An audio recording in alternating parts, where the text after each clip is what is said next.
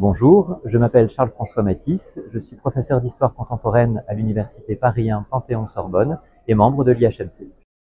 Quelle est la place de l'historien dans la société? Elle est celle de tout scientifique, c'est-à-dire produire des connaissances, apporter un éclairage sur le monde. Et je crois qu'en sens, il ne faut pas penser ce rôle au titre d'une utilité immédiate. Euh, L'historien est un scientifique qui produit des connaissances et cela en soi suffit.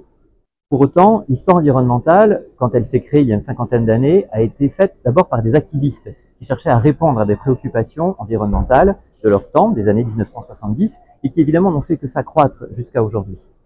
Et ma propre euh, pratique de l'histoire et celle de mes collègues est évidemment aussi liée à nos interrogations sur la crise climatique, l'effondrement de la biodiversité, les questions de transition énergétique.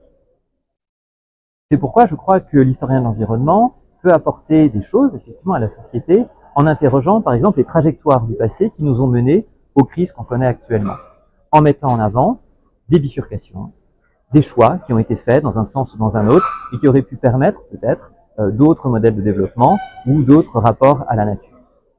En ce sens, il me semble que l'histoire environnementale peut agir politiquement, au sens où faire de la politique, c'est proposer un récit, une façon de se projeter vers l'avenir. Or, se projeter vers l'avenir nécessite de connaître le passé et d'avoir une base sur laquelle s'appuyer.